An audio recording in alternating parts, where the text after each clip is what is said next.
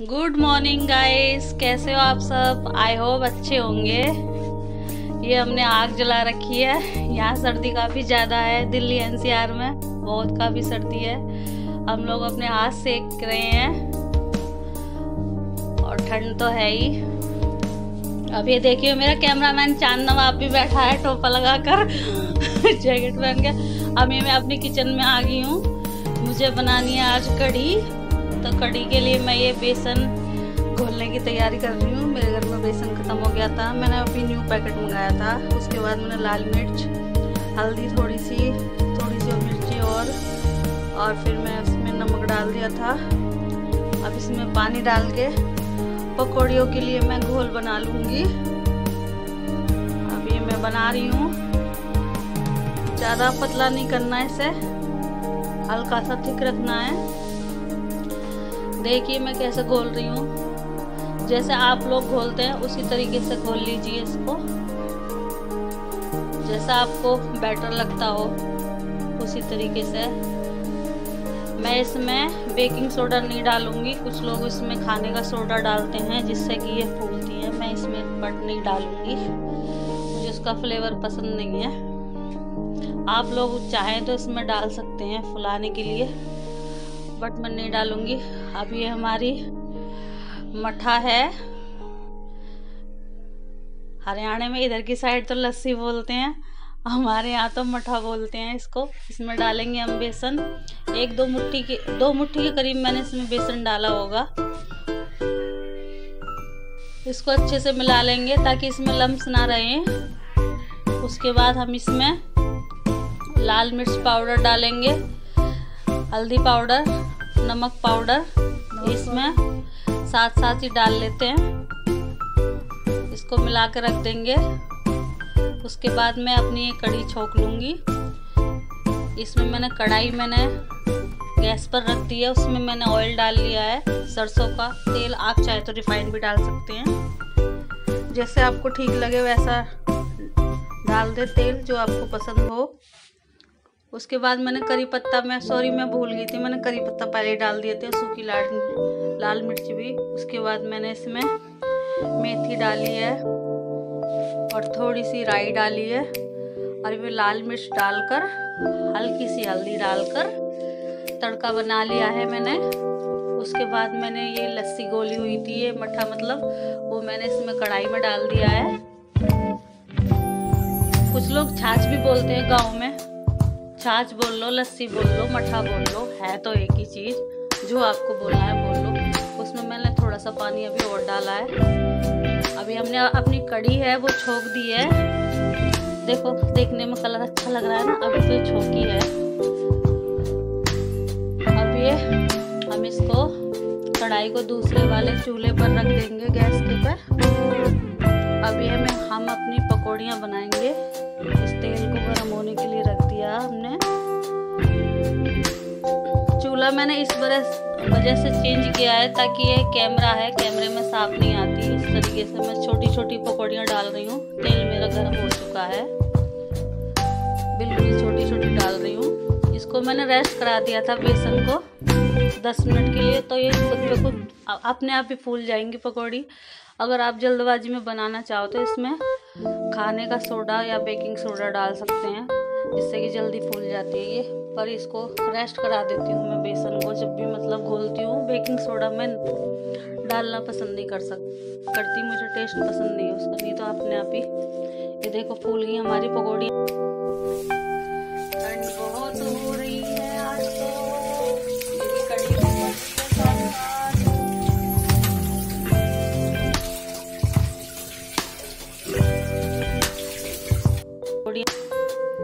Guys मेरे चावल भी पक चुके हैं।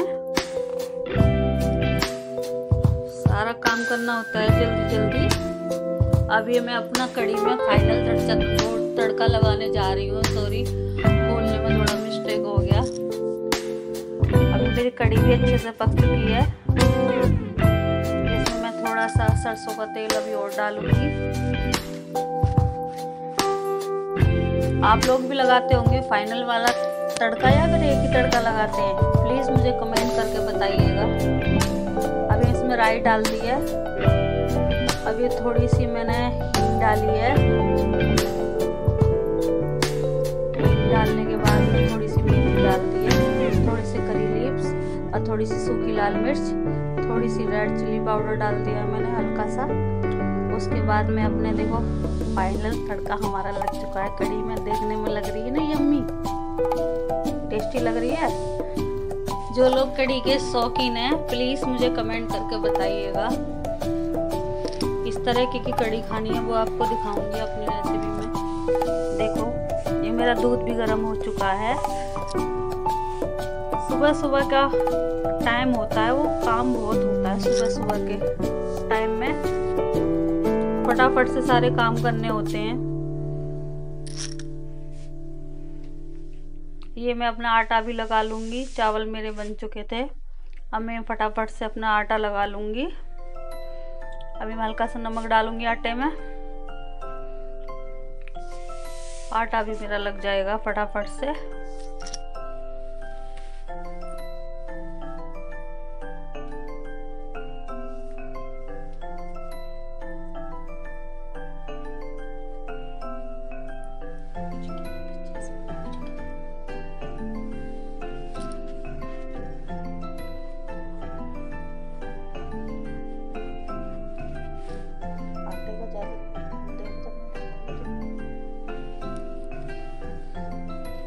ये देखो गाइस आटा मेरा लग चुका था।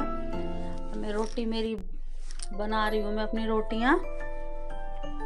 मैं दो रोटी एक साथ बना लेती हूँ। एक एक करके बनाती हूँ तो मुझे काफ़ी झंझट लगता है।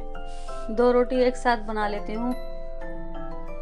देखो, बन रही है मेरी रोटी। और कड़ी चावल मेरे घर में सबको पसंद है। कड़ी के साथ चावल ही खाएँगे, रोटियाँ नहीं खाते हैं।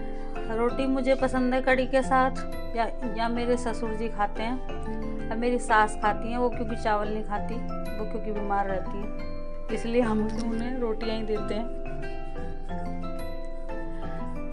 अब मैं रोटी मेरी बन चुकी हैं। खाना मेरा लग चुका है आ जाइए खा लीजिए। कड़ी है चावल है रोटी है कड़ी है चावल है रोटी है। अगर आपको पसंद है तो खा लीजिए। बहुत टेस्टी बना है। अब मैं जा रही हूँ अपनी छत पर एक स्पेशल चीज़ लेने के लिए। ले जा, लाने के लिए देखिए मैं क्या लेकर आती हूँ अपनी छत पर से। ये है वो चीज़ एलोवेरा देखिए मैं इससे क्या करती हूँ। मैंने इसको धो भी लिया है साथ साथ एक ही चाहिए थी, बस मुझे एलोवेरा की जो थी वो। देखिए, मेरे घर में कितना सारा सामान है।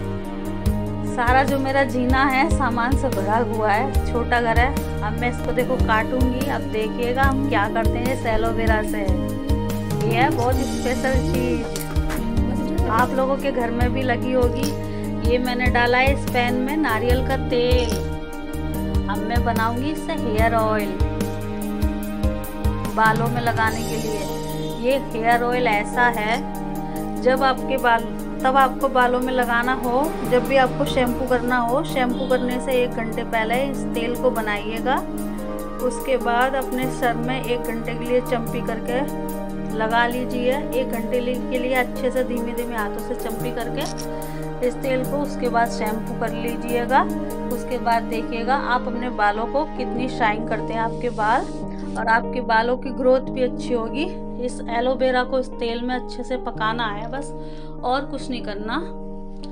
धीमी धीमी आँच पे पाँच से सात मिनट तक, तब तक ये एलोवेरा इस तेल में मतलब मेल्ट नहीं हो जाए अच्छे से। तब तक इसको पकाना है। पकाने के बाद तब ये हल्का सा ठंडा हो जाएगा, क्योंकि अब तो सर्दियाँ हैं, सर्दियों में गोले का तेल जम जाता है। तो नारियल का तेल हमको अच्छे से ठंडा करना है। ज़्यादा नहीं, ठंडा करने के बाद में हल्के हल्के उंगलियों से चम्पी करनी है अपने सर में। ये देखो हमारा एलोवेरा पक चुका है। अब हम इसको छानेंगे। अच्छे से दबा दबा के जो इसके पल्प है वो उस तेल में निकाल लेंगे। देखो, इसका तेल का ऑयल का मतलब कलर थोड़ा चेंज हो गया है ना, हमने ये छान लिया है। देखो कोकोनट ऑयल होता है वाइट कलर का और ये हमारा हो गया हल्के ग्रीन कलर का हो चुका है, देखो आप। हो चुका है ना? अब मैं अपनी बेटी के बालों में चंपी कर रही हूँ। इसको शैम्पू करके नहाना था। बोल रही थी, मम्मी, आपने ऑयल बनाया है तो मेरी बालों में लगा दो। मैंने अपनी बड़ी बेटी की भी चंपी की थी। उसके बाद छोटी वाली बेटी की की थी, फिर बेटे के की थी। बारी बारी सारे नहाए थे चम्पी कर करके इनके बाल बाद में बहुत सिल्की सॉफ्ट हो गए। आप इसको हफ़्ते में दो या तीन बार लगा सकते हैं इस ऑयल को। अगर आपके घर में एलोवेरा है तो आप ज़रूर बनाइए इस ऑयल को और अपने बालों में लगाइएगा। ये मैं साथ साथ अपनी किचन में आ गई थी। थोड़ा सामान था जो मुझे डब्बों में भरना था। ये जैसे थोड़े थोड़े सामान थे। ये मेरे बादाम थे मैंने इसमें डाल दिए डब्बे में। तो मैंने ये मुझे अपनी किचन की थोड़ी सेटिंग करनी थी। सारे डब्बे थे, सामान मेरा फैला हुआ था इधर उधर तो मैंने सारा सामान भर दिया था डब्बे में।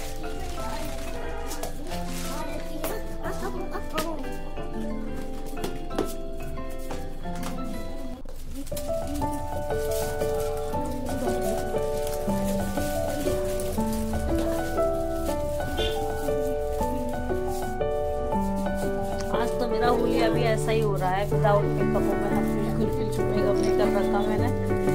कोई बात नहीं, घर में सब ऐसे ही होते हैं अपने। सब लोग ऐसे ही रहते हैं अपने घर में। जो मेरा सामान था, जो डब्बे खाली थे, वो मैंने भर दिया है।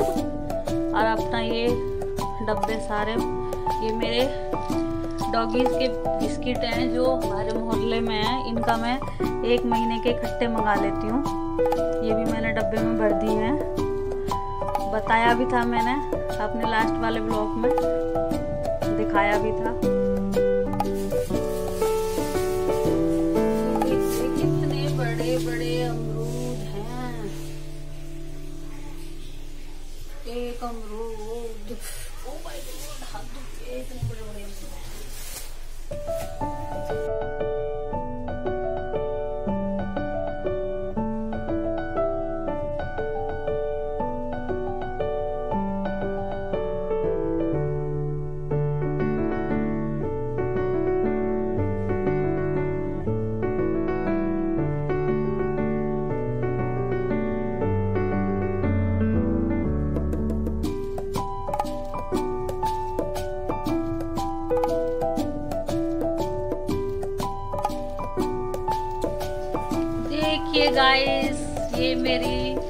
अलमीरा बिल्कुल सेट हो चुकी है। जो मैं अभी डब्बों में सामान डाल रही थी, वो मेरे सारे लग चुके हैं।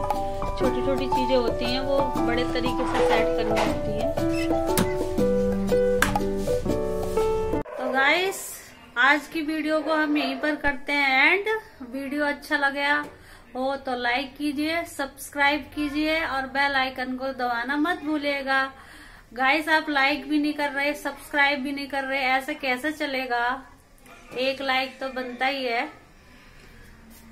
तो और कैमरा मैन चाँद नवाब मैं हूँ जो कैमरा के पीछे रहती हूँ और बहुत कम आती हूँ वीडियोस में।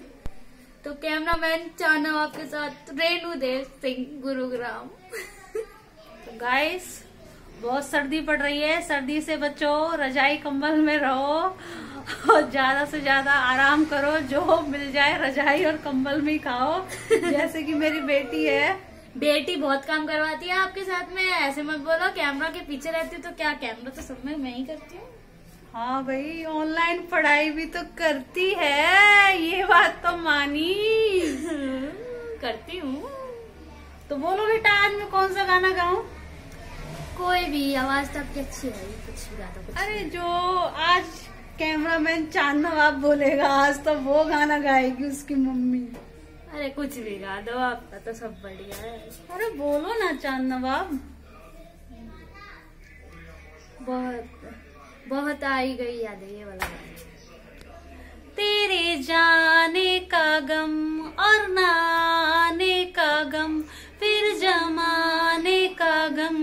क्या करे।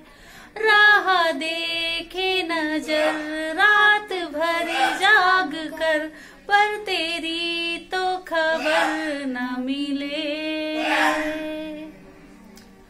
बहुत आई गई यादें, मगर इस बार तुम्ही आना। इरादे फिर से जाने के नहीं लाना तुम्ही आना। Bye bye guys. इस वीडियो को यहीं पे एंड करते हैं। लाइक सब्सक्राइब कमेंट्स और चाँद नवाब का सलाम। भाई चाँद नवाब के लिए भी लाइक करना। बहुत मेहनत लगती है।